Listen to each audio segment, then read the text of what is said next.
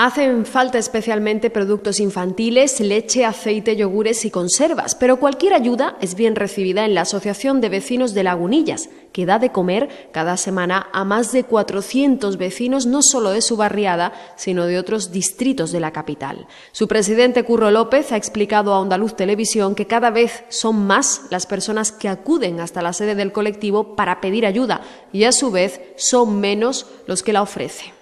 Pues la reivindicación mayormente es que la gente piense en Navidad de que muchísimos niños no tienen la posibilidad de, de llevarse un simple puleva o un simple bote de colacao, incluso unos yogures para la casa, ¿no?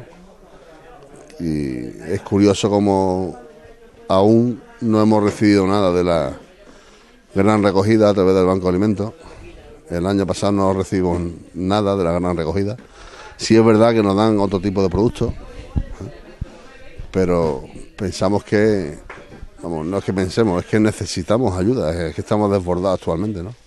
López denuncia que el colectivo que representa está excluido del reparto que realiza el Banco de Alimentos, del que asegura recibir productos sobrantes. La razón es que esta asociación no cumple las condiciones que impone el Fondo Español de Garantía Agraria para poder repartir comida y además luchan contra ellas, ya que consideran que la nueva normativa responde, asegura, a criterios discriminatorios y racistas.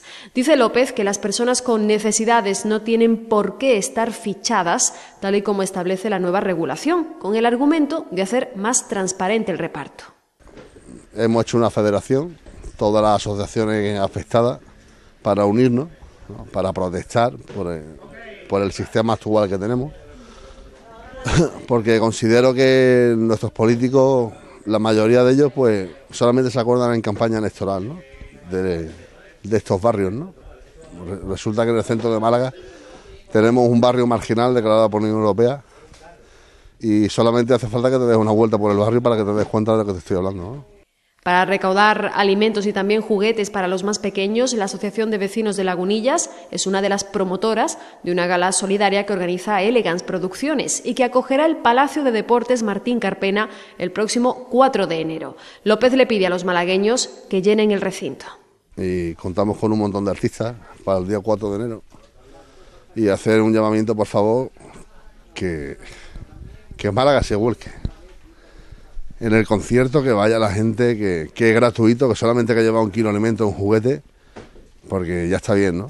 Pensamos que, que ahora es el momento de darlo de pecho, ¿no? De decir, bueno, somos malagueños y, y tenemos que ayudar a nuestro pueblo, porque la verdad que hay gente que nos da basto.